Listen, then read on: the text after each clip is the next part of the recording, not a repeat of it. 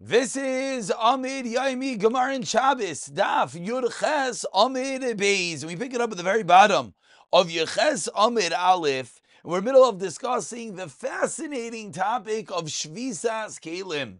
Beis Shammai holds not only can you not do work, but your Kalim cannot do work as well. And Beis says, no, that is not accurate. Your Kalim do not have to be Shavis on Shabbos, as long as it doesn't make noise, is how we concluded yesterday.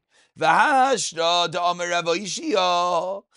the Gemara six lines in the bottom, Aleph. And now that Rav Ishia has taught us, Amar Ravasi, Man Tana says Kalim Deraisa. Who is the Tana that holds? Shvisas Kalim Zedin Deraisa. It's as we just explained. So says the Gemara, Le Beis Shammai, according to Beis Shammai, Bein Kavin Maisa, Bein Deloy Kavin Maisa Aser. Oh, Beis Shammai holds your Kalim cannot do work. You did an action, you didn't do an action, irrelevant. Your Kalim cannot do work. Le Beis Hillel, Avagav the Kavin Maisa. Oh, Shari, it's still mutter. So what's the kasha? But now they're going to tell me, according to Beis Shammai, that even though an action was not done, it's also What's the kashas? We turn over to Yechesam and Beis. Mugmar time shari Beis Shammai. Mugmar to make the kalim smell good. Gofris, the sulfur burning in your house. Why does Beis Shammai hold its motor? Hasam manacha ara. Says the Gemara, you know why? Because they're not in a keli. Even according to Beis Shammai, it's only a problem if there's a keli, if there's a utensil of yours doing work.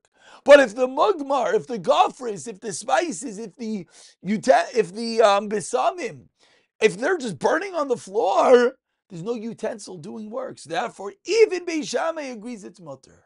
Says Gemara, what about the next case? Kigis Veneru Kdeir Shvad, the barrel lamp and pot, and the spin, my time is Shari Beis Shammai. Why did Beis Shammai say for these cases it's mutter, you soaking the barley for the beer? Um, all these cases allowing the the spit to continue on to Shabbos, says the Gemara, Dimafkir Luchu Afkuri. The reality is, Beis Shammai holds it's not mutter. Only if you're mafkir, your kalim, then it's mutter.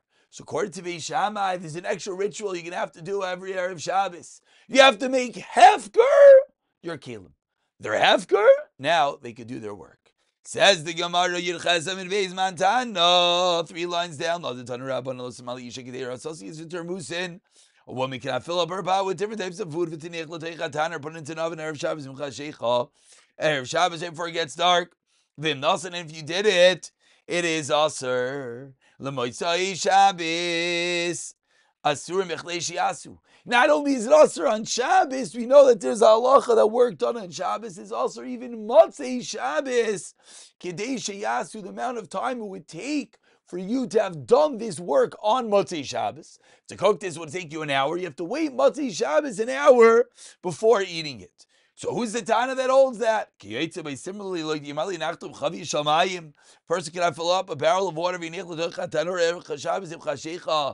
it onto the oven Friday right before dark. If you do this, Shabbos again, so it sounds like who is that Tana? Sounds like it has to be Beis Shammai. But what's the obvious kasha? The obvious question is how? How can it be Beis Shammai? We're making Stam Mishnayis into the opinion of Beis Shammai. Answers the Gemara, you're right. Afilu tema Beis Really, I'll tell you, it is Beis But if it's Beis what's the problem? Beis allows your kalim to work. Explains the Gemara, Beis Hillel's a maskim to a gezerah. If you leave, leave an item cooking on a fire, this is one of the classical chashashais in the world of Bishul, that you might stoke the flame. This is what we refer to as shehiyah, the Isra of leaving soy cooking as it goes into Shabbos, that Beis Hillel agrees to, and of course that's what we hold, that if an item is cooking as Shabbos enters, it is ulcer. Obviously, there are other conditions Obviously, if you cover over the flame, it will be mutter, the blech, etc. Ask the Gemara Yachi if this is true. Mugar gafras nami legs we shows have xera, making your house smell good. Says Gemara Hasan lay over there. There's nothing to be mechata. There's no coals to stoke. Why? Very important line. The mechati. What's going to happen if you stoke? So in the flame of a pot, stoking gets a bigger flame, it cooks better. But by the mugmar and the garfas, you know what's going to happen if you stoke it, says the Gemara. Salik mukotra. What's going to happen is it's going to bring smoke up the kashale, and it's bad. You don't want smoke in your house. You don't want your clothing filled with smoke.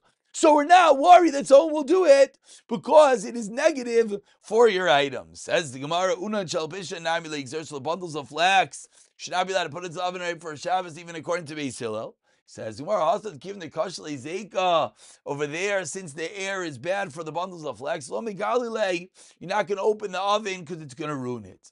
Similarly, what about putting the wool into the vat again? We should have the same gezira.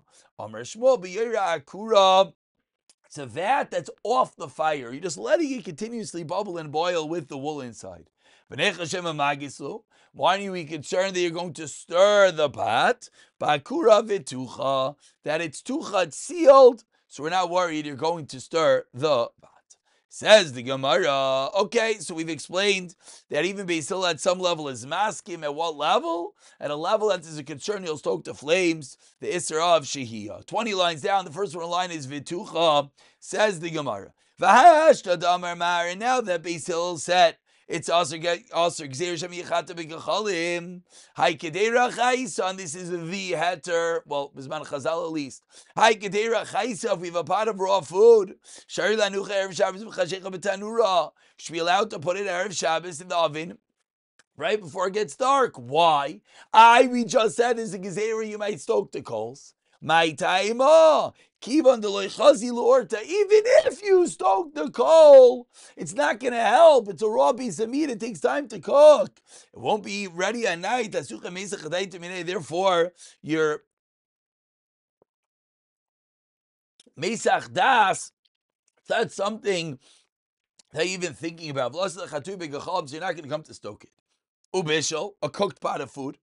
Shaber dummy as well as mutter. Why is it mutter? Because there's no reason to stoke the flames as it's already edible.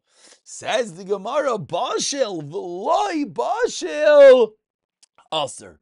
Partially cooked, it's ulcer. If you put in a raw piece of meat, shaber dummy, then it will be mutter. Now, what exactly does it mean? Bashal v'lei bashal. This is the massive sugi of shehiyah. At what level it becomes mutter? Numerous opinions in the Rishonim, Le Maisa, we hold once it's a third cooked then it's allowed to be left cooking into Shabbos, but if it's a covered flame, then it's always going to be mutter anyways. But Lechatzchila, we always mention everything should be cooked fully going into Shabbos. Continues the Gemara of Hasha Damar Mar. Now that Mar said, "Call me the Zika." Anything that the air is harmful to it, Lomi Galile, you're not going to open up to stir the coals. Hi, Bisr the Gadi Visarik. If we have meat of a goat that is, or an oven that is sealed, Shaber Dami. There's no problem with shehiyah. So if you steal your oven, which how you do this conventionally is a little bit difficult, but then there won't be a problem. On the other hand, if it's meat that is mature, it's tough, and therefore the air won't bother it, and it's not sealed, also. The God somewhere in the middle. If it's a goat and it's not sealed, or the Baruch of a Sharik, it's a ram, it is sealed, Rav Ashi Shari of Yirmiyah Midifti, also. Says the Gemara, the Rav Ashi Shari Basar Batel Ubei. You cannot roast meat, onion, or eggs. Elikadesha Etzol Mivad Yoim. Why? Says the Gemara. Said the Baruch of Lisari. It's about a mature one, and therefore the air is not. Go, uh, excuse me, Sarik, and therefore that's the reason why Ein Tzoilin says the Gemara. Igadi we have a second lush and everything we just said. We're 20 lines to the bottom. The first one line is Sarik. Igadi Says the Gemara, the Gadya, when it comes to a kid, Bain Sarik, Bain Sarik, Bain whether it is sealed or not, Shapir Dami. Tebarcha Nami Visharik, for meat of a mature ram, if it's sealed, chop, or dummy. Keep ligi, according to the second Lashain, the Baruch Sarik, they argue on the middle case. The Rav Ashi, Shari, Virvirmia, Mi Ulcer. And Ravirmia Difti says it is Ulcer. And now the basically the same kashal Rav Ashi the Shari Vatanani Tzolam Basar Basar Lubeil Says the Gemara, Hasa the Vigumi. There is talking about meat over open coals, not in a closed oven, and therefore that is the reason why everyone agrees it's going to be an issue, because we have to be afraid you're going to stoke the coals. We just begin the next sugya. Actually, now we don't begin. One small sugya to end the day, 10 lines to the bottom, the two dots. Beis Shammai remain Says Beis Shammai, you're not allowed to sell to a guy on Friday, but Beis Hillel says it's allowed. Says the Gemara Tanur Rabban, let's understand this. You cannot sell an item to a guy. You cannot even lend it to him. You cannot lend you cannot lend him either that he's going to return that item or he's going to return a different item. You cannot give him a present.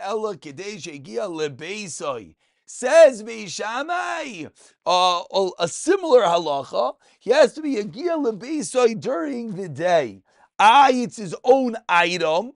What do you mean? He bought it. So Rashi already points out, because people might think that he is your shliach and it's your item. That's why it's usher. It's even if there's only time for him to reach the house near the wall of the city. Rav Akiva, he has to leave your house before Shabbos. Rav Akiva,